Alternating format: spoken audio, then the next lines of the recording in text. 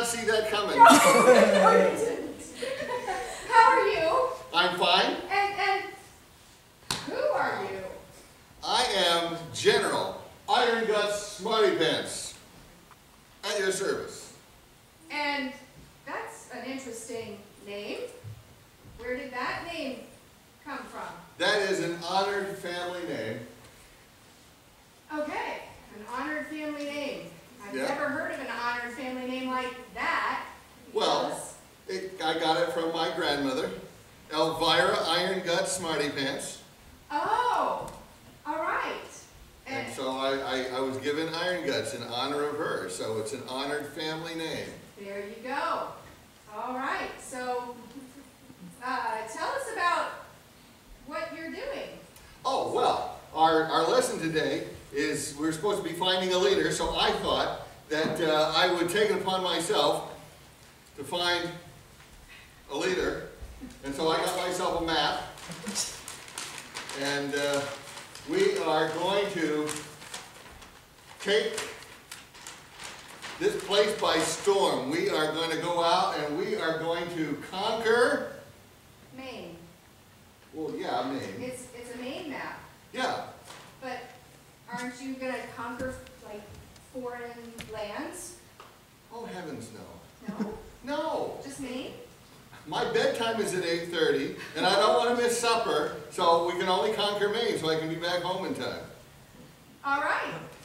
Um, So, so anyway, okay, uh, so my plan is that we're going to march right into Waterville, and first we're going to stop at the Kentucky Fried, okay, because, because an army has to have the right kind of leadership, and I figured we could get Colonel Sanders to help us out. And then, because we need a leader, uh, we are going to go to Burger King and get the famous King Burger, who can be our leader, because we need to have a leader. And of course, he has a queen, so we have to go to Queen Dairy to, uh, to find her queen. And once we get them, we will protect them and keep them safe. okay. Um, I don't, I don't think you're quite getting, uh, the right idea, Mr. Iron Guts. Guts, smarty pants. Um, King Burger, Yep. King Burger. King Burger's not a real king, you know. He was to my grandmother, Elvira Iron Guts. And, I'll uh, tell you, that woman can eat anybody under the table. And, And we're uh, going for food because every army marches on its stomach. Now, now, Although I've never actually tried that, and I think it'd be kind of hard to be down on my stomach. especially after it's very clean. yeah, Well, yeah. might not work. Um, So, there, those aren't real good leaders to have, you know, why not?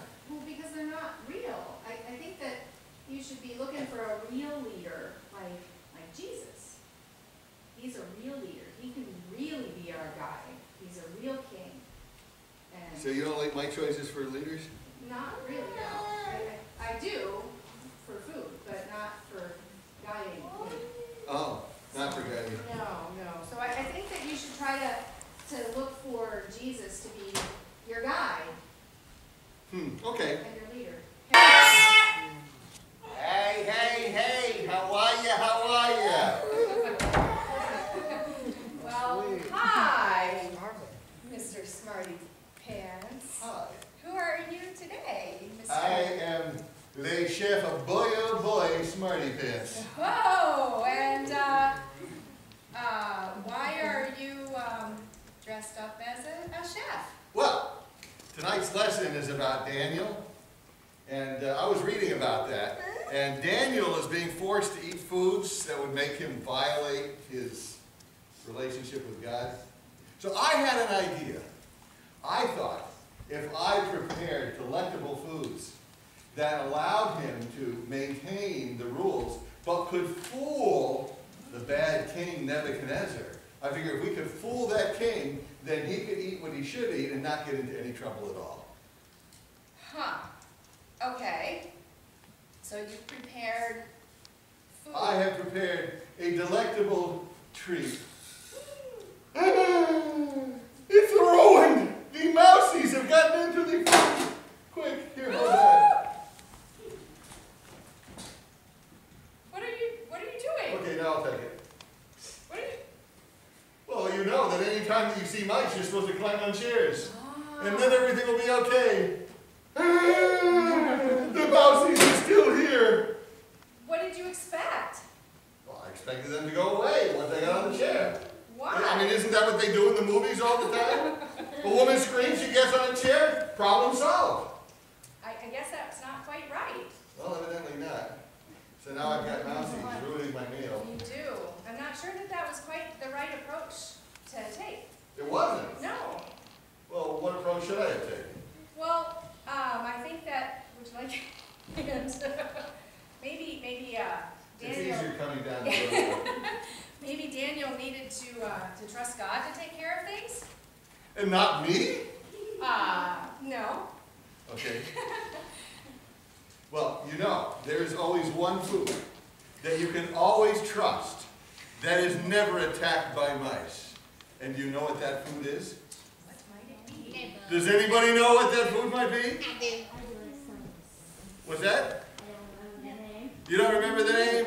Nibbles chips. Nibbles chips, yes, of course. Because you always know, if mousies get other food, they will never get the Nibbles potato chips. And that's because Nibbles uses so many preservatives that no mouse would ever eat it. But anyway.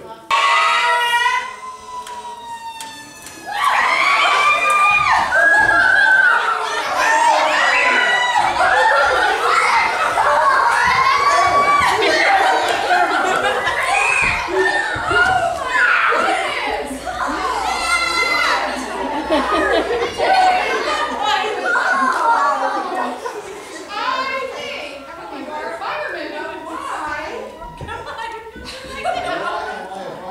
Why are you a fireman? Our story today is about three guys named Shadrach, Meshach, and Abednego. And these guys were put into a fiery furnace, and I thought that I would help them out.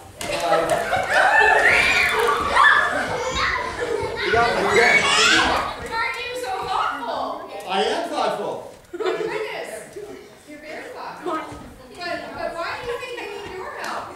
Well, because they're all on fire. And, and it's dangerous in there, and it's hot and uncomfortable in there, almost as hot and uncomfortable as being in this fireman suit. I bet. Wonder how long you can draw this out. Well, I, I think that Shadrach, Meshach, and Abednego would appreciate your concern, but I think that ultimately they really need to depend on God in this situation and not a fireman.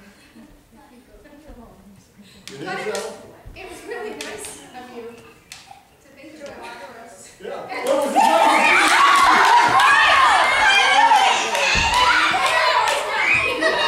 Sorry, I did take a picture of that. Your stuff. Oh, no.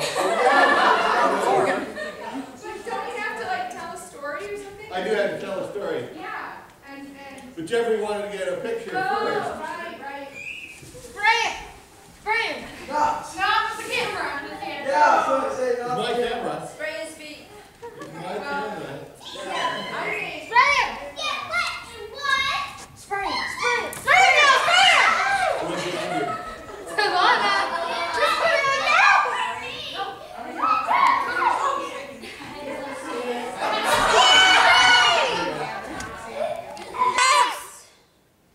What's he got in his hand? The walker. Okay. Don't you mean Mrs. Smarty Pants?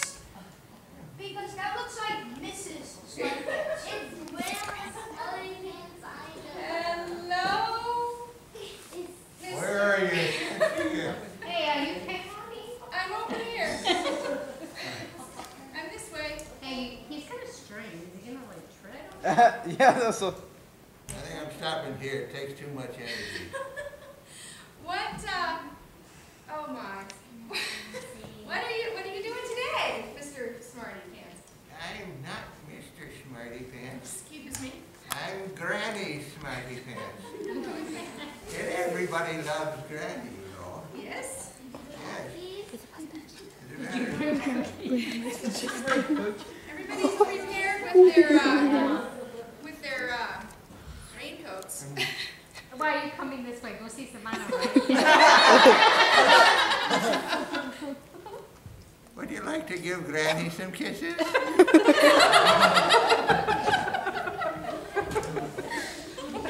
She, she's a little shy. She's a little shy. Give Granny kisses. didn't do that. I did. He did. Um, I know he did the kisses. So, uh, Granny, you're following the voice. This could be fun. Um, I'm over here, Granny. All Um, right, get my interest on me. what's, uh, what's, what do you have attached there to your, uh, walker? Oh, Can I, can I pull on it? Thi- This is how I stay on track. You know, at the nursing home, when I head out of my room, uh, sometimes I get lost, so now I have this rope that's, I just have to follow it back to my room, and it works really well. Well, most of the time it works pretty well. Sometimes it trips up the folks at the nursing home, but most of the time it works pretty well. Alrighty, um, uh, and why do you, why do you think that that's the best way to be able to find your way? Well, because it's foolproof. You know, I just follow it and I get back to where I'm supposed to go. It's, it's foolproof. You know, I think this could work for anybody. You know, if you want to go on a 20 mile hike in the woods, you just tie a rope to yourself and tie a, the other end to your house. You just go and when you want to come home, you just follow the rope back home.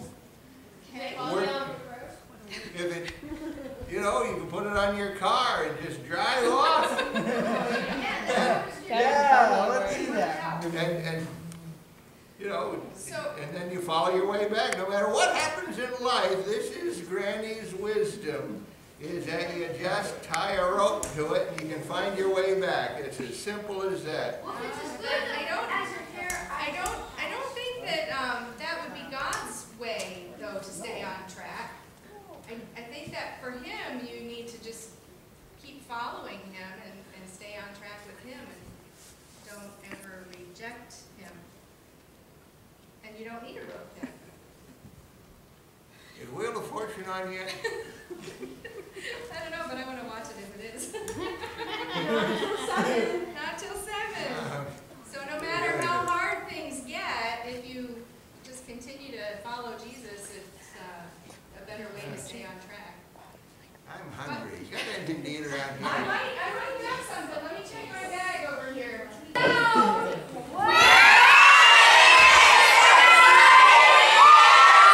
Hey, hey, hey, how are you, how are Well, hi! Hi. What you got there? Well, I'm ready. You're ready for what? I'm ready for the return of Jesus Um, what makes you more ready than me? because we're supposed to be watching for him. That's what today's lesson is all about. It's, it's called Keep Watching. And I've got everything I need to be able to keep watching. I've got my night vision glasses on. Yeah. I have got my opera glasses so that if I'm at the theater and he returns, I can see him. So you're very prepared? Yes, this is my microscope. So if he comes to me, little teeny tiny pieces, I'll still be able to see him. And then if he's really far away, I've got this so that I can see him. So I'm completely covered. Every possible way. If he's coming, I'm ready. You're ready. I don't think you need any of those. I know. I don't have any. Ah, Ah, but that's because I don't need them, you know, why do you not need him? Because I don't need those to, to keep my Jesus and keep watching. I just need the Bible, I need to listen to what God tells me to do, He'll tell me how to, how to keep my eye on Him. Wait for Him. Oh. So you don't need all those things, those are just things that man comes up with, and you just don't need them, you need just see God. Okay, all right, I'll believe you on that. But there is one thing that I really need. I need something to eat.